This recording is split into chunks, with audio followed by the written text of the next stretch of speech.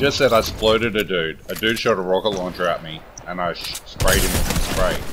So I'm assuming my spray hit his rocket midair.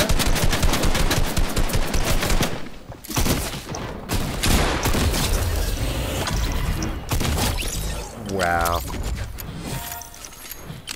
Triple kill.